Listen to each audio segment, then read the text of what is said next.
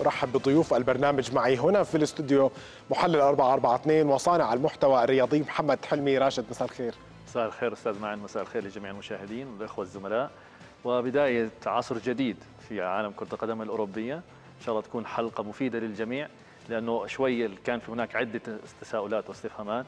نوضحها في هذه الحلقة إن شاء أنت الله. لا تتخيل حجم وعدد الناس الذين سألوني عن النظام الجديد لدوري أبطال أوروبا وإجابتي كانت احضروا حلقة الليلة بتعرفوا الجواب. فعليك مسؤولية كبيرة الليلة. بإذن الله قدر المسؤولية إن شاء الله. وأنت لها. أهلا بمحمد حلمي راشد. كذلك أرحب عبر سكايب بالمدرب الوطني نجم كرة القدم الأردنية اللاعب السابق ومدرب المنتخب الوطني للناشئين تحت 15 كابتن خالد سعد مرحبا بك من الزرقاء. وسينضم إلينا كذلك محلل 442 وصانع المحتوى محلل الأداء طلحة أحمد. سيكون معنا أيضا في الحلقة. نبدأ من قرعة دوري أبطال أوروبا التي أثارت جدلا كبيرا والتي سحبت مساء اليوم الخميس في إمارة موناكو الفرنسية والتي تقام لأول مرة وفق نظام جديد.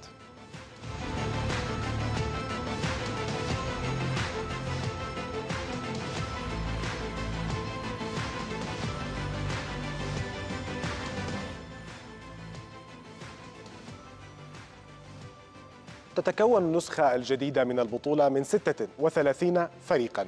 ستشارك في دوري واحد كبير بدلا من تقسيمها إلى مجموعات كما كان في السنوات السابقة. سيلعب كل فريق ثماني مباريات أربع منها على ملعبه وأربع أخرى خارج ملعبه. على سبيل المثال وفق القرعة التي سحبت اليوم سيلعب حامل اللقب ريال مدريد. سنتابع الآن مع فرق بروسيا دورتموند الألماني وليفربول وميلان. ليفربول الإنجليزي وميلان الإيطالي وأتلانتا الإيطالي وريد بول سالزبورغ النمساوي ليل الفرنسي شتوتغارت الألماني وبريست الفرنسي. بينما إذا ما انتقلنا مثلا إلى مانشستر سيتي حامل لقب البطولة قبل الماضيه فسيلعب مع كل من إنتر ميلان الإيطالي باريس سان جيرمان الفرنسي ولنا عودة ستكون عند باريس سان جيرمان كلوب بروج البلجيكي يوفنتوس الإيطالي فاينورد روتردام الهولندي سبورتنج لشبونه البرتغالي وسبارتا براغ التشيكي بالإضافة إلى سلوفان براتيسلافا السلوفاكي. وهذه الأندية تمثل فكرة الاتحاد الأوروبي بالإضافة التي قام بها. بالذهاب إلى مثلا باريس سان جيرمان أو قبل باريس بايرن ميونخ. دعنا نبقى مع بايرن ميونخ. سيلعب مع فرق مثل باريس سان جيرمان وبرشلونة وبروج البلجيكي. يوفنتوس فريقك محمد.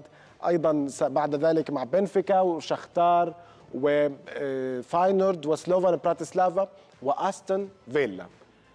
باريس سان جيرمان الذي كنت أود الحديث عنه، لماذا؟ لأنه باريس يعني إذا ما أراد أن يطارد حلمه منذ سنوات باللقب الأوروبي عليه أن يتأهل بشكل مباشر بعد أن يواجه الأندية التالية مانشستر سيتي، بايرن ميونخ، أتلتيكو مدريد، أرسنال الإنجليزي، بي إس في أيندهوفن الهولندي، ريد بول سالزبورغ النمساوي، جيرونا من إسبانيا الفريق المجتهد وشتوتغارت الألماني وعلى هذا المنوال بقية الفرق. بكل مستوى يلعب.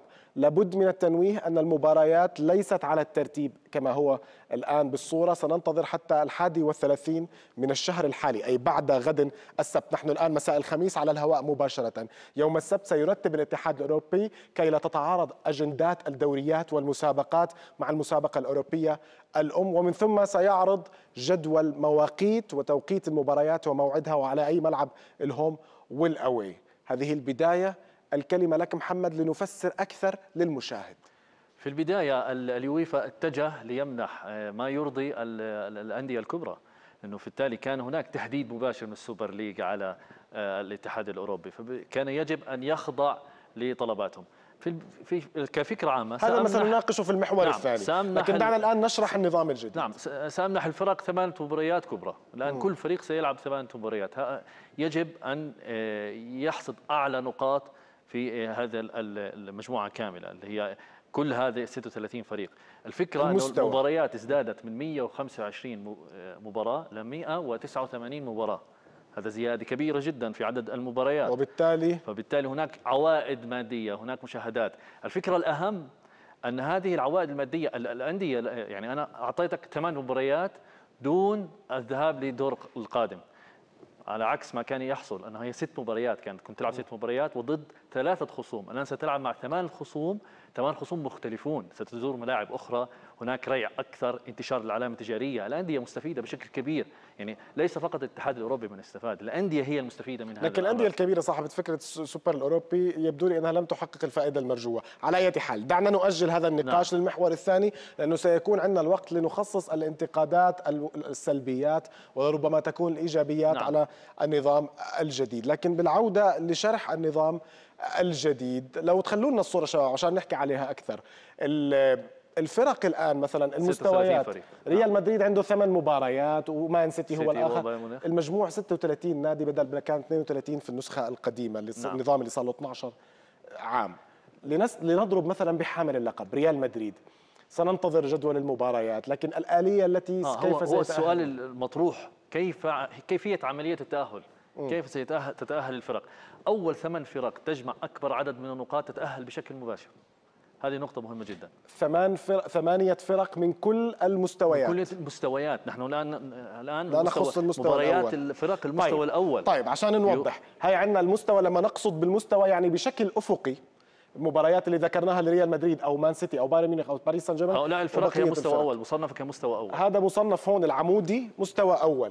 ريال مدريد مان سيتي بايرن ميونخ باريس سان جيرمان ليفربول انتر ميلان دورتموند لايبزيغ وبرشلونة مصنفة مستوى أول. مثلا ميلان كيف هنا هنا لابد من سؤال. نعم. كيف صنفت على ماذا استند الاتحاد نعم. الأوروبي؟ كي تصنف على مستوى الاتحاد الأوروبي لآخر ست سنوات من المشاركات بعدد النقاط الوصول للادوار المتقدمة وعدد نقاط من ناحية الفوز وأيضا الأهداف لعب الدور. المسجل في دوري أبطال أوروبا ككل بكل الأدوار وتم تصنيفهم على ذلك. اذا هذا هو المستوى الأول. بين كل مستوى بين ريال مدريد ومجموعته كيف سيتأهل مثلا مان سيتي بايرن ميونخ إلى آخره؟ النادي ماذا عليه أن يفعل كي يتأهل؟ يسجل أكبر عدد ممكن الاتصالات والأهداف. نعم. هي هذه الفكرة النقطة الأساسية أن هناك لنعتبر أنه يوجد لدينا 36 فريق. هؤلاء أول ثمانية فرق تجمع أكبر عدد من النقاط مع فارق الأهداف. إذا تساوى عدد النقاط سيكون هناك فارق للأهداف لأنه ما في مواجهات مباشرة ما بين يعني. صح. فبالتالي ينتقلوا للدور القادم. الآن نحن ثمان فرق عبرت هذه المجموعة. م. الآن من مركز تاسع لحتى المركز الرابع والعشرون هؤلاء ينتقلوا قرعة يدوية ستجرى قرعة يدوية هذه نقطة مهمة جدا ليست عن طريق الحاسوب كما حدثت. قرعة يدوية يتواجهوا بمباراة ذهاب إياب. 16 فريق سيتواجهون مباراة ذهاب إياب. من 25 ل 36 يقصوا من البطولة تماما ولا من كل المسابقات. ولا يذهب إلى دوري اوروبي أو أو في يعني بعد بكرة إن شاء الله ب 31 الشهر سيتم إجراء قرعة الدوري الأوروبي م. وتحديد هذه المباريات. بالتالي الدوري الأوروبي له شكل آخر أيضا. المسابقات الأوروبية اختلفت بشكل آخر يعني نعم. لو حقق مثلا ريال مدريد أو بايرن ميونخ أو أي نادي من هذه الأندية أكبر عدد ممكن من النقاط مع فارق الأهداف. ولا نذكر نادي مثلا لربما يكون لا غير مرشح من المستوى الأول أو الثاني. مثلا على سبيل المثال لا الحصر سبورتنج لشبونه البرتغالي أو بي اس في ايندهوفن نعم. الهولندي. من كل مستوى يتأهل فريقين مباشرة. أو لنرجع نحكي عن مستوى ريال مدريد. لو كان مثلا ريال مدريد وريد بول سالزبورغ هذا الثنائي هو من يفعل. تستطيع اخذها بهذه المنظور أو هذه وجهة النظر لكن أيضا تستطيع أن تأخذها أنه هو عبارة عن لنفرض أنها تصفيات وأول ثمانية يجمعون أكبر عدد من النقاط من كل الفرق هذه يتم تأهل مباشرة من ال 36 فريق. الموضوع. نعم. البقية. فبالتالي آه فبالتالي ذكر البقية اللي هو المواجهات الثنائية نعم المباشرة. الآن من واحد ثمانية تأهلوا بشكل مباشر جمعوا أكبر عدد من النقاط. من المركز التاسع للمركز الرابع والعشرون لهذول 16 فريق. 16 على 2 8 فرق نعم مواجهة مباشرة. ذهاب إياب كالدور اللي هو دور ال 16 اللي موجود في دوري ابطال اوروبا السابق مثلا. بتأهلوا بيلحقوا للفرق الأخرى وبصير في دوري 16 أساسي اللي هو كان أيضا في الفكرة السابقة هون بصير نفس النظام السابق اللي هو الدور ثمن النهائي ربع نعم. نهائي نصف نهائي ونهائي. دعني أشرك معنا طلحة أحمد محلل 442 صانع المحتوى ومحلل الأداء. مرحبا بك طلحة. نظام جديد أسئلة كثيرة تطرح عليه. حاولنا بإيجاز أن نشرحه. أسمع منك تعقيب على هذا النظام الجديد.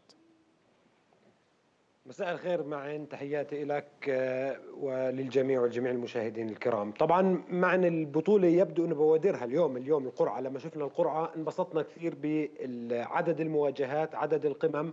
مواجهات كثيرة تعتبر هي قمم نشاهدها بالأدوار الإقصائية عادة اليوم أنت بتشاهدها من الدور الأول. هذا في له انعكاسات وأعتقد أن الانعكاسات كلها إيجابية. أولا معن اليوم الفريق بيبدأ معك كان بالموسم الماضي يبدأ يبحث عن ست نقاط ومن ثم يعني ست نقاط في مباراتين من أصل ست مباريات وبعدين خلص هي الموضوع يصبح تحصيل حاصل. أريد نقطة من هنا أريد نقطة من هناك وفقط. ولا يعطي كل ما لديه. اليوم لا. اليوم الفرق بتبدأ معك البطولة كما كما كانت تنهي تنهي معك البطولات السابقة. مم. على سبيل المثال ريال مدريد وتحط لي شاختر وتحط لي نابولي وتحط لي اليوم لا. أنا عندي مواجهات صعبة جدا. أنا يجب أن أكون بأقصى أو بأعلى رتم عندي وبأعلى تركيز حتى ان أنا أحصد النقاط. لأنه في النهاية أنا أريد التأهل من القسم الأول. لا أريد أن أذهب إلى الأدوار الإقصائية وأتأهل من خلاله. هذا واحد. شغلة ثانية معي اليوم في عندنا فرق مش جاهزة 100% هي فرق كبرى لها شعبية ولها جماهيرية كبيرة. بس هي مش جاهزة 100% اليوم تعطيها فرص أكثر للظهور. بتعطيها فرص أكثر انها هي معها فرص انها هي تبدأ معك البطولة وتكمل الادوار الإقصائية. على سبيل المثال نتكلم عن آه، فرق مثل نتكلم عن الميلان على سبيل المثال. الميلان فريق مش جاهز بس أنت اليوم أعطيته نفس. أي نعم في مواجهات صعبة ولكن بنفس الوقت أنا معطيك عدد أكبر من المباريات اللي أنت من الممكن تكون مواجهات ندية بينك وبينها.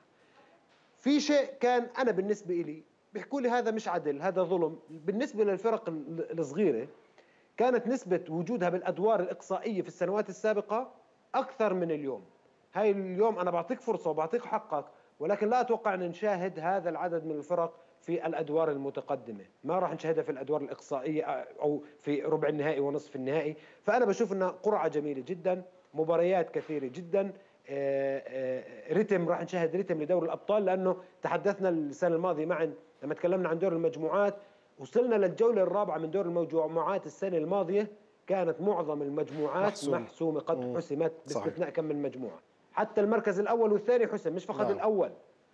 لذلك كرة القدم بحاجة هذه الانتعاشة.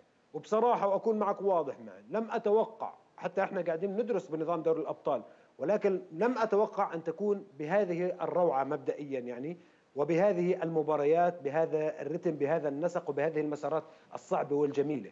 فيبدو إن الأمور مبشرة وهذه الفزه التي كنا نتكلم عنها قبل قبل أيام كرة القدم ماذا تحتاج؟ تحتاج إلى مثل هذا النوع من التغيير. هذا بالإضافة وأختم بهذه النقطة معا. عدد الأهداف عدد الأهداف مهم جدا. اليوم أنا مش مطالب أن أروح أسجل هدف وأرجع لا أنا مطالب بتسجيل أكبر عدد تشجيع على اللعب الهجومي أكثر. طيب كابتن خالد سعد استمعت إلى حديث ضيوفي. تتفق مع رأي طلحة الذي ذهب إليه كونه محمد لسه ما ناقشناه برأيه على البطولة محمد شرح الشكل والنظام الجديد. تتفق بما ذهب إليه طلحة كابتن خالد أنت كمدرب ومدير فني؟ نعم معا. مساء الخير عليك وعلى الأخوة الزملاء والمشاهدين. طبعا إحنا في البداية كنا مستغربين من هذا الحديث يعني في البداية في السابق لما ذكر إنه في تغيير ونظام جديد للبطولة الكل كان يعني متفاجئ. وإحنا دائما كل شيء جديد إحنا دائما بنكون دائما في ردود أفعال. لكن إحنا اليوم لما شفنا القرعة فعلا معا شدتنا كثير وخلتنا في حجم تفاؤل كبير. يعني أنا بضم صوتي لصوت أخوي طلحة إنه فعلا صار كل مباراة عندنا تقاس بمقاس النهائي. يعني ما في تفريط للنقاط ما في تفريط للمباريات صارت كل مباراة مهمة سواء على ملعبك سواء خارج ملعبك. هون بتكون الجاهزية أكبر للفرق. يعني يجب على كل فريق وضع استراتيجية معينة ووضع وترتيب الأولويات. مهم جدا معا نعرف الأولويات. واليوم زيادة عدد المباريات في فرق مغمورة. يعني في دوري الأبطال ممكن في السابق كان في فريق عندك يعني مهيأ إنه بعد المباراة الثانية أو الثالثة يرتفع الرتم. لكن في في السابق في النظام السابق انت عندك مباراتين بتحدد مصيرك سواء انت متأهل أو انت مروح من البطولة من الدور الأول. لأنه ثلاث فرق آه، أربع فرق ثلاث مباريات ذهابا ثلاث مباريات ايابا ست مباريات. لكن اليوم زيادة عدد المباريات هي راح ترفع من رتم المباريات راح ترفع من حجم المنافسة وحدة المنافسة، اليوم حتى الفرق الكبيرة عليها العمل أيضا بشكل بشكل متوازن، اليوم في عندك بطولات محلية، في عندك بطولة دوري الأبطال بالشكل الجديد، وزي ما حكيت معنا التغيير سنة الحياة وإحنا في حقبة جديدة اليوم. أكيد زيادة عدد المباريات، أنت اليوم لما بتسجل في فريقك 25 ل 30 لاعب اليوم إحنا بنشاهد لاعبين 13 لاعب أو 15 لاعب في فرق من بداية الموسم لنهايته معا تشرك 15 لاعب. إحنا في 10 لاعبين ما بنشوفهم. حراس مرمى ما بنشوفهم. مغمورين. في هاي البطولة تسمح لعدد كبير من اللاعبين إنه إحنا نشاهدهم. زي ما ذكر أخي طلحة طب. زيادة عدد الأهداف وهي متعة كرة القدم. نعم كابتن معا نعم. أستمر معك كابتن خالد. هناك من يرى بأنه النظام الجديد عدد مباريات أكثر. حتى في دور المجموعات في النظام القديم مثلا النادي كان يلعب ثلاث مباريات بينما الآن سيلعب عدد مباريات أكثر وسيسافر خارج ملعبه لأربع مرات لأنه أربعة على ملعبه وأربع مباريات خارج ملعبه. وبالتالي منافسات ستمتد معه تقريبا على مدار المنافسات كأنه ازداد شهر عليه عبء المباريات لأنه البطل في النظام القديم يخوض يخوض 13 مباراة بينما في النظام الجديد البطل قد يخوض من 15 إلى 17 مباراة في حال كان من الفرق اللي لعبت مواجهات مباشرة كي تتأهل بحيث لم يتأهل مباشرة. عند هذه النقطة أنت كمدرب زيادة عدد المباريات يربك حسابات أي مدرب بحيث أنه يوزع مجهود لاعبيه. التخطيط سيكون مختلف بشكل استراتيجي أبعد أعمق وقد يكون أصعب بعض الشيء. ما حكينا هاي راح تزيد من الضغط على المدربين على الأجهزة الفنية على الأجهزة الطبية على كوادر النادي على استقطابات النادي وتعاقدات النادي. يعني أنت اليوم اللاعب المصاب عندك ما له مكان. بكل امانه وبكل صراحة أنت بحاجة كل اللاعبين في جهوزية تامة. ما بتقدر تستنى لاعب إنه لنهاية الموسم أو لاعب مصاب أنت بحاجة كل لاعب موجود يكون متواجد معك بكل الجهوزية. لكن إحنا بنحكي عن نقطة مهمة جدا معا. يعني لازم الأولويات ترتيب الأولويات حكينا هاي مهمة. الاستراتيجية للنادي للجهاز الفني. أنت عندك زيادة عدد المباريات والجميل في الموضوع إنه بتلعب مباريات أربع مباريات على ملعبك مش نفس الفرق بتلعب معها مباريات اوي خارج ملعبك. يعني اختلاف الفرق واختلاف الأنماط اختلاف المستويات. ومهم جدا معا إحنا لما نحكي عن ترتيب المستويات صار في أربع مستويات في أوروبا. هاي المستويات أصبحت واضحه من تجميع عدد النقاط ذكرها أخي محمد حلمي من تجميع عدد النقاط من تجميع المباريات. وهذا مهم جدا. صار في عندنا زيادة أربع فرق. الأربع فرق ما اعتمدوها من الخمس سنوات أو الست سنوات السابقة. اعتمدوا زيادة الأربع فرق. هي كانت 32 فريق أصبحت 36 فريق. زيادة الأربع فرق اعتمدوها من الموسم الحالي من السنة الحالية اعتماد نقاط معينة اعتماد آه، فرق وتصنيفات أندية معينة ودول معينة فأصبح زيادة أربع نعم. أندية في هذه البطولة فجميل جدا يعني متفائلين صحيح راح يكون مربك للمدربين مربك للاعبين أوفرلود وجهد نعم. مضاعف للاعبين لكن على كل نادي البحث في الأفضل والتطوير ومهم جدا إحنا مهم في آخر نقطة معا كل الفرق بتحكي عن الأمور المالية وزيادة حجم الإنفاق وحجم المصاريف وحجم وحجم. هذا كله راح يزيد من المرابح للاتحاد الأوروبي والأندية الأوروبية. فإذا بحجم العطاء وبقدر العطاء سيكون عندك هناك زيادة الأموال والأرباح. يعني كل فريق بمجرد مشاركته في هذه البطولة راح يجني مبلغ كبير. يعني في بداية المشاركة. بشكل عام دوري أبطال أوروبا هي بيضة القبان بالنسبة لليوفا للاتحاد نعم الأوروبي. نعم تدر نعم. له مداخيل أو عوائد سنوية تعادل ثلاثة أضعاف ما يأتي به كأس العالم من عوائد مالية. رقم مهول جدا. ابقى معي كابتن خالد. و... نكمل الحديث عن النظام الجديد. بالتأكيد زادت. نكمل الحديث عن النظام الجديد لدوري أبطال أوروبا حيث ومنذ الإعلان عن هذا النظام انهالت الانتقادات على الاتحاد الأوروبي لكرة القدم خاصة الجزئية التي كنا نتحدث عنها زيادة عدد المباريات. من وجهة نظر المنتقدين لم يعالج النظام الجديد المخاوف من كثرة المباريات وتأثيرها السلبي على الأداء. روابط الدوريات الأوروبية ترى أن هذه الزيادة أي في عدد المباريات ستدمر الأغلبية العظمى من الأندية وتخدم أندية قليلة فقط. يرى المسؤولون في تلك الروابط أن بطولات الدوري المحلية في أوروبا تمثل العمود الفقري لكرة القدم الأوروبية. بينما يرى بعض النقاد أن النظام الجديد ونتيجة للقرعة سينتفي فيه مبدأ العدالة وتكافؤ الفرص. من جديد إليك محمد حلمي راشد رأيك في البطولة وبعدما استعرضناه من نقاط وأيضا الحديث مع ضيوف البرنامج. رأيي في قسمين القسم الأول كمختص في كرة القدم والقسم الثاني كمشاهد. كمختص في كرة القدم هو تم فعليا تم فعليا منح الأندية الكبرى ما تريد وداعا للمفاجآت في دوري أبطال أوروبا. ما شاهدناه مثلا وصول دورتموند لأكثر من مرة على لنهائي دوري أبطال أوروبا مثلا ضد بايرن ميونخ في 2013 والأخير أيضا ضد ريال مدريد. هذا لن يتكرر.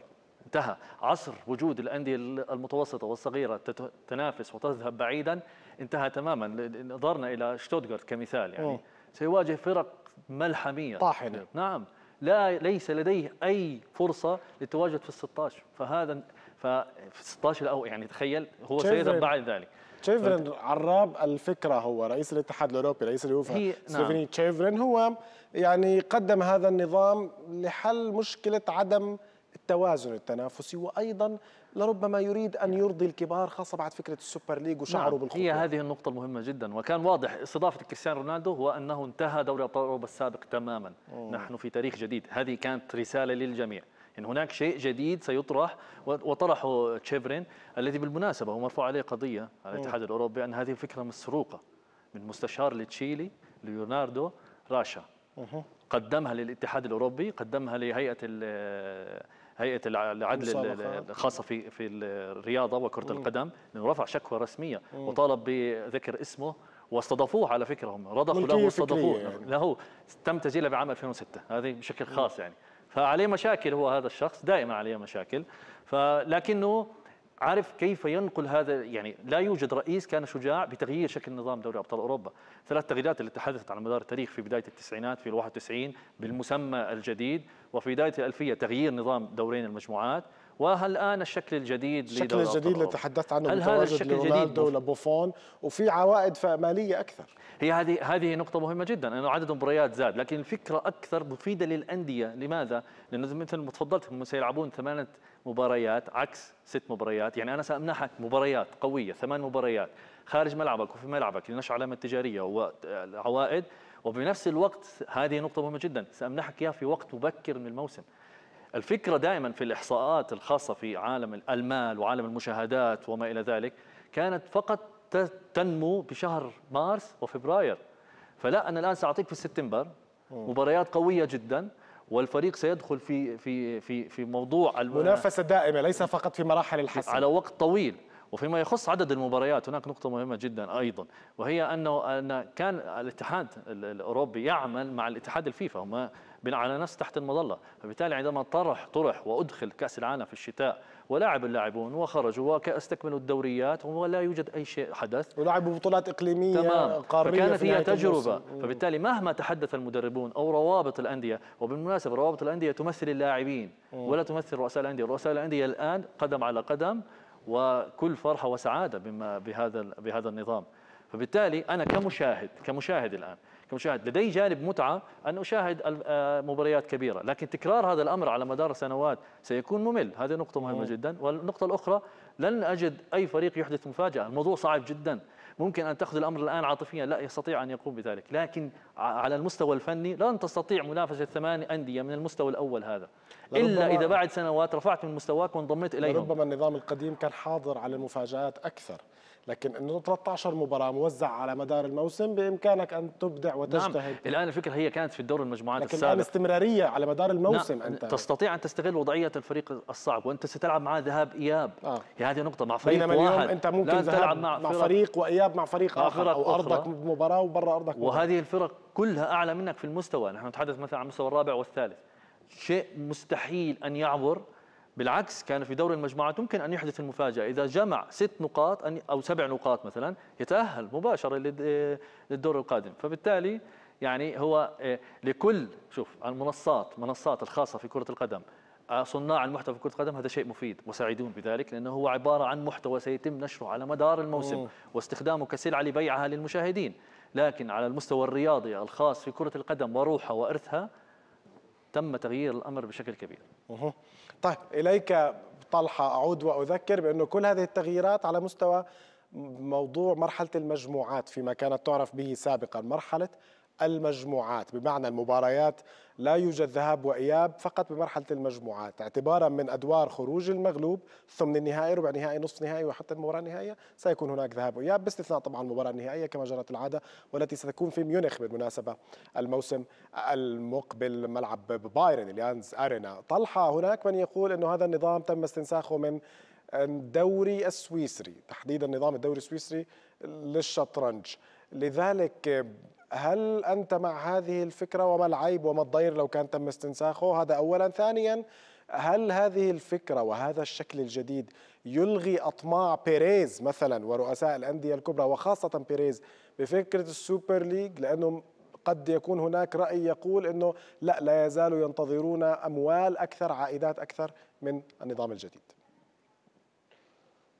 نعم يعني الآن في البداية مع أن بيريز بفكره ال super league اللي طالب فيها هو طالب مجموعة من الأفكار من ضمنها كانت ال super league وهو كان يطالب بالتغيير الجذري في كرة القدم أو التغيير الكبير يحصل في كرة القدم وهو حصل من خلال دوري الأبطال. بريز يطلب كان عدد مواجهات أكثر بصفتي أنا ريال مدريد الفريق الأكثر شعبية في العالم الفريق الذي يصرف أموال ويصرف ملايين ويصرف ويصرف ويصرف ويصرف. بالأخير أنت بتيجي تعطيني بطولة أنا ما في من خلالها مردود مالي يوازي الشيء اللي أنا بدفعه ولا يليق فيه من حيث عدد المباريات وطبيعة المباريات اللي أنا آه، أشارك فيها. لذلك تم استحداث هذه النسخة. مع لما نتكلم عن إيجابيات وسلبيات البطولة اليوم هذا درس للأندية ودرس لطبيعة البني آدم بشكل عام إنك أنت ما تعتمد على النظام اللي أنت موجود فيه لأنه النظام قابل للتغيير. اليوم إذا كنت فريق صغير أو متوسط وأنا متأقلم على هاي الوضعية الموجود فيها متأقلم على هاي الظروف والأجواء اللي أنا بعيش فيها بشارك بدور المجموعات بدور الأبطال وكبيري أنا أجيب مجموعة أعتمد اعتمادي الكبير في دور الأبطال إني أعتمد إني أراهن على حظي أراهن على حظي في مجموعة موجود فيها فريق واحد من الفرق المرشح ونافس على المركز الثاني. ومن ثم أتواجد في دور الاقصاء دور المجموعات في الدوري الأقصائية. والآن آجي أحكي هذه مفاجأة عظيمة حصلت لي بكرة القدم. لا لا. الآن أنت يجب أن تكون مهيئ نفسك إنك بدك تشارك بدوري الأبطال من هذا النوع. لذلك التغيير لن يبقى على مستوى البطولة. حتى الفرق اليوم الفرق المتوسطة والفرق الضعيفة واللي كانت توصل لأدوار نصف النهائي والنهائي ونعتبر هذا الشيء مفاجأة لا اليوم بدهم يعيدوا بدهم يعيدوا دراستهم للموضوع. أنا لا ألعب في دوري الأبطال وأضمن آه، مبلغ معين في حال وصولي إلى الدور الثاني. لا الأمور اختلفت تماما. لذلك اليوم هذا هو دوري الأبطال معا لما إحنا نيجي نتكلم عن الفرص وتكافؤ الفرص. لما دوري الأبطال قبل ما يتم تغييره كان دور المجموعات الدور الأول هو دور المجموعات. والدور الثاني أيضا هو دور مجموعات. كان الفرق أيضا هذا قبل 12 سنة مزبوط مزبوط هذا الكلام قبل نعم. 12 سنة. أنا واحد من الناس اللي لحقت كرة القدم لما كانت شكل البطولة بمرحلتين من المجموعات. دور أول من المجموعات يليه دور آخر من المجموعات. ومع ذلك معا كان في فرق تعمل مفاجأة. ومع ذلك باير ليفركوزن وصل للنهائي. ومع ذلك فالنسيا وصل للنهائي مرتين. وهي فرق لم تكن مرشحة في البداية للوصول. ومع ذلك لذلك هذه الفرق يجب أن تعمل على نفسها. حالة الركود الموجودة في كرة القدم. هو اليوم أنا مع أنا فريق مثل أنا مت... هذا هو خلص في عندنا فرق تدخل أنا أريد مركز 12 في الدوري من 14 ل 12 في الدوري وأريد التأهل إلى هذه البطولة. هذا هو الركود. اليوم لا أنا اليوم مطالب. أنا اليوم مجرد ان أنا شاركت في هذه البطولة انكم أكثر دخل أكبر وبالتالي استغلال الدخل آه، اليوم أنت مطالب إنه يكون عندك أكثر من تشكيل بالفريق مطالب إنك تعقد صفقات وتعمل أو نعم. يرتفع سقف طموحك. بالنسبة لسؤالك الأخير استنساخه من الشطرنج من كرة السلة من أي شيء هذا الشيء متعارف عليه لدرجة إنه أصبحنا نستنسخ أفكار الألعاب الأخرى بعيدا عن كرة القدم وحتى في التكتيك. نضعها في كرة القدم على سبيل المثال بعض الأفكار التي وجدت من كرة السلة. صحيح. محمد عندك مداخلة؟ تفضل. يعني الفكرة كيف ستنافس هذه الأندية الصغيرة؟ إذا أصلا مدخول الأندية الكبيرة أصبح أضعاف. م. فبالتالي هذاك يستطيع صناعة فريقين وليس فريق واحد. 16 لاعب بنفس المستوى العالي. ولا ننسى أن هناك أندية تدعمها دول واتحادات كبيرة وعظيمة جدا. فبالتالي يجب أن يحافظوا على سمعتهم. فبالتالي هناك الفجوة كبرت بشكل أكبر. لأنه أنا كنادي صغير أو كنادي متوسط هذا سيواجهني الآن بضعف قوته التي كانت. فانتهى الأمر أصبح الأمر مكشوف تماما أن هذه الأندية الصغرى والمتوسطة منحتها مباراتين زيادة يعني مدخول زيادة أموال أكثر اصمت فقط. يعني في بوليتكس في سياسة الاتحاد نعم الأوروبي أرض الأندية الكبيرة. نعم هو دائما دائما ماذا يبحث أي شخص يدير مؤسسة على أرضاء الأقوى آه. بكل تأكيد. فبالتالي أنت ترضي الأقوى لأنه هو هو يدر عليك المال. هذا منهج في علم الإدارة في الحياة. نعم صحيح. وأنت مختص في, في, في الإدارة. نعم. طيب طيب. هذه هي الفكرة العامة التي حدثت. أذهب إلى كابتن خالد سعد. زيادة عدد المباريات تحدثت عنه بأنه بحاجة إلى عدد أكثر من اللاعبين يشركهم المدرب يمنحهم الفرصة قبل قليل عندما تناقشنا في هذه الجزئية كابتن خالد. لكن عدد مباريات البطولة قفز بشكل كبير. يعني نتحدث عن زيادة أكثر حوالي من 40 أو 45 مباراة للموسم الواحد وبالتالي الأندية المتوسطة ودون المتوسطة ستشعر أنها آه، بحاجة للتصرف تحديات أكبر من طاقتها وقدرتها المالية عكس الأندية الغنية والثرية. نعم إحنا تحدثنا عن الجانب الإيجابي من زيادة عدد المباريات وما وما شابه ذلك، لكن إحنا اليوم نحكي عن الجانب السلبي للاعبين ولا الارهاق ولا للمجهودات المضاعفة للاعبين ولا الاجهزه الفنية. يعني إحنا حكينا عن يعني ذكرت شيء انت حكيت سرقة أو استنساخ البطولة من نظام بطولة شطرنج. ويا ما أكبرها من مشكلة مع إنه نشارك كرة القدم بالشطرنج. يعني هاي شتان ما بين ذلك وبين وبين كرة القدم والشطرنج. يعني إحنا لما بنحكي عن اللاعبين هم لاعبين. يعني جسد وأرواح ولاعبين يجب أن يأخذوا ساعات من الراحة ومجهودات مضاعفة للاعبين تركيز والتركيز مهم جدا للاعب إنه يبقى دائما في تركيز عالي. إحنا بنحكي عن اللاعبين هم مش ماكينات أو دمى إنه إحنا بنحركهم. حتى على مستوى القرعه معا إحنا اتجهنا إلى الذكاء الاصطناعي بشر و... طبعا. واستخدام ح... نعم ذهبنا لاستخدام ذكاء صناعي لإجراء القرعة. شفنا قديش بتوجع الرأس وشفنا قديش بتغلب وشفنا قديش فيها يعني اختيارات ويعني مستويات وتذهب إلى مستوى آخر. لكن اليوم إحنا بنحكي عن الجوانب الفنية. معا قتلت مشاهدة والمتابعة والمتعة في كرة القدم اصبنا كمشاهدين وتحدثنا في حلقات سابقة عن إصابة المشاهد بالملل. بطل في شغف لمتابعة المباريات حتى وإن كانت المباريات والأندية والمنتخبات الكبرى.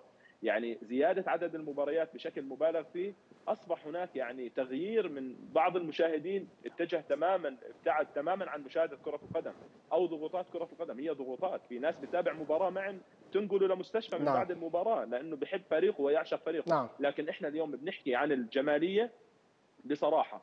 فقدت من زيادة عدد المباريات. أصيب اللاعب أصيب المدرب أصيب المشجع نعم. بالملل من زيادة عدد المباريات أكيد هي زيادة أموال لكن زيادة ضغط على اللاعبين.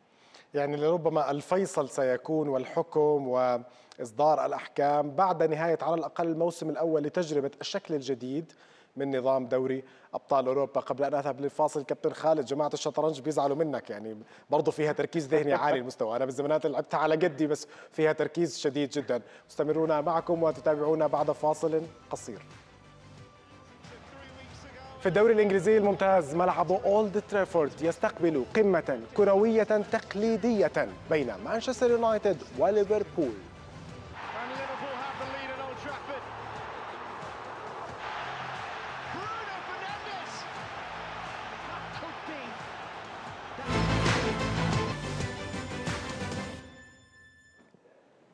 يا مرحبا بعودتكم من جديد. نذهب بكم الآن إلى إنجلترا حيث تتجه الأنظار يوم الأحد المقبل إلى ملعب أولد ترافورد مسرح الأحلام والذي يحتضن قمة تقليدية بين صاحب الأرض مانشستر يونايتد وخصمه التقليدي ليفربول.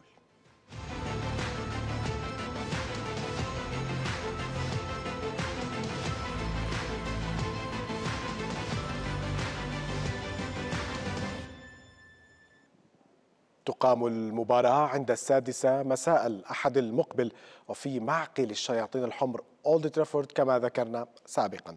يملك صاحب الأرض الشياطين الحمر ثلاث نقاط من فوز وخسارة فيما يملك الضيف الريدز ست نقاط من انتصارين متتاليين.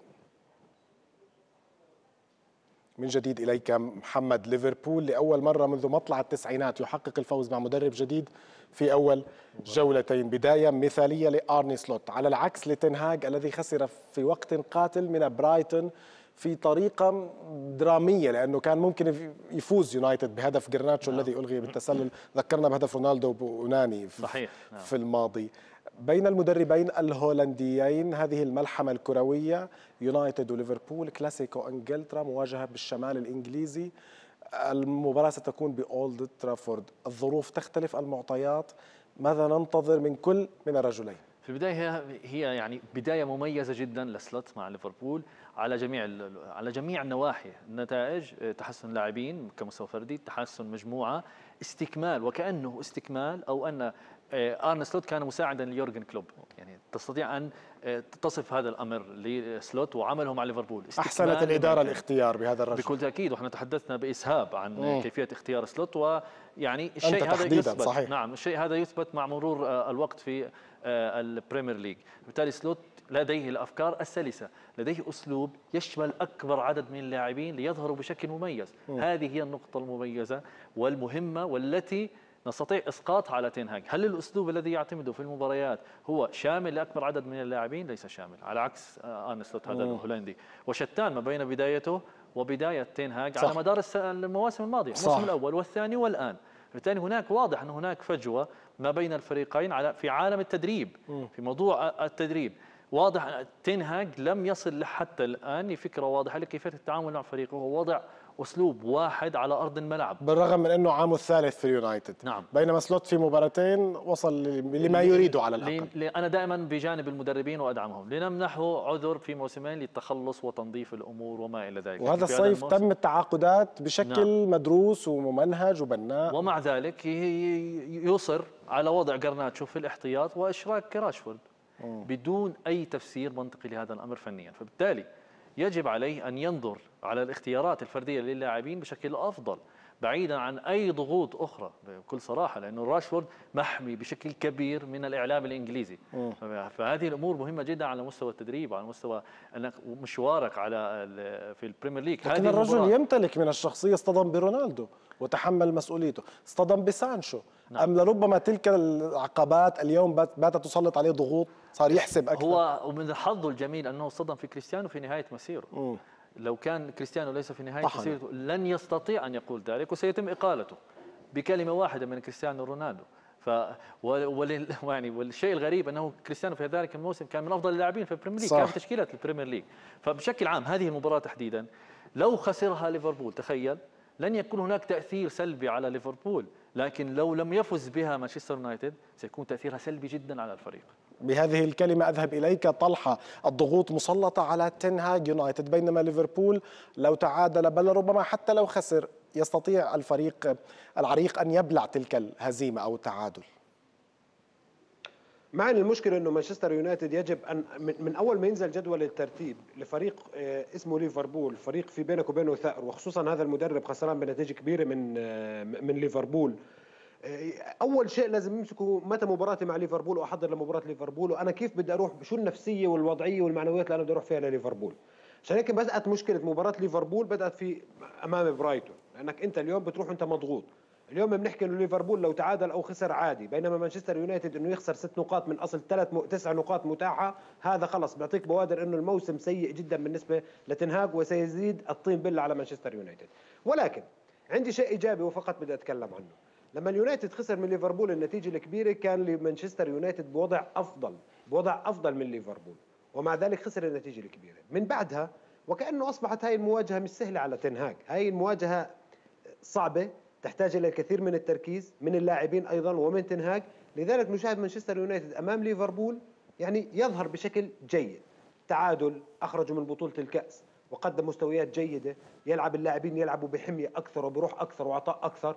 كل شيء وارد في المباراة أنا لا أراهن أبدا على مانشستر يونايتد ولكن هذا الأمل الوحيد الموجود عندي المعنويات سيئة الروح نعم. سيئة النتائج سيئة الضغوطات على اليونايتد أكثر هل تعتقد أن المباراة ستكون عامرة بالأهداف؟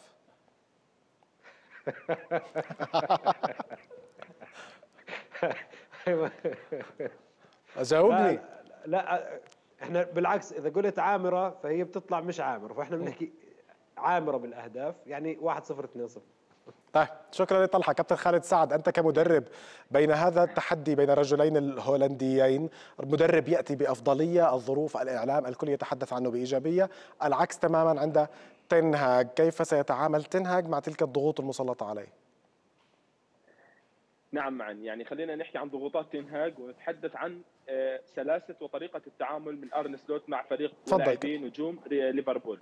يعني في البداية إذا شفنا في المباراة السابقة عندما تم استبدال اللاعب أرنولد شفنا كيف ارن سلوت ارن سلوت شعر إنه اللاعب هناك يعني في غضب من اللاعب راح تحدث مع اللاعب جلس بجانبه. في المؤتمر الصحفي تحدث عن تبديل هذا اللاعب تحدث عن أرنولد إنه لاعب متعب ومرهق من مشاركته مع المنتخب الإنجليزي.